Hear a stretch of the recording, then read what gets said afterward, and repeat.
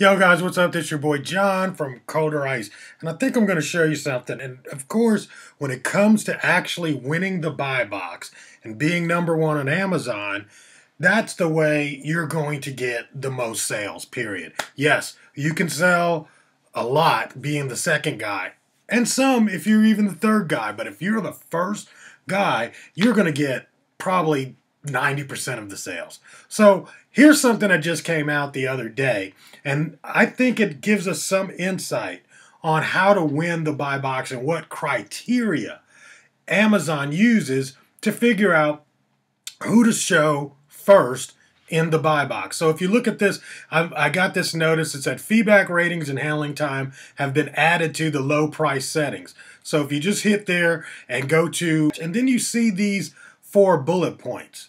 And it says listing condition, fulfillment method, feedback rating, handling time, time to get it shipped.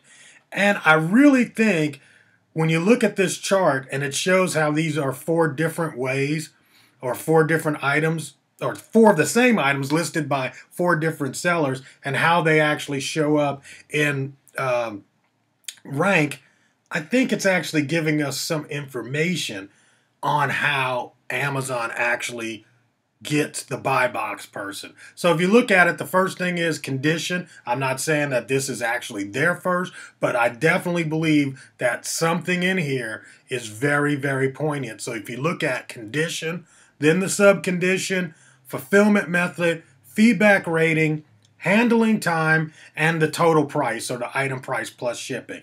I think all of those are the factors in how often an item is given the buy box. And just recognize, guys, that no item that I've ever seen has a 100% buy box on Amazon. I mean, if you if you ever do any kind of uh, uh, search and you look through your seller records, you can see how often you are in the buy box. And I have never, even on products that we're the only ones that sell, ever see it say 100%. So I'm pretty confident even that when people say, well, I'm second in line, I still get shown. I think Amazon does actually rotate between all of, or at least a few of, the top ones to show in the buy box at different points in times.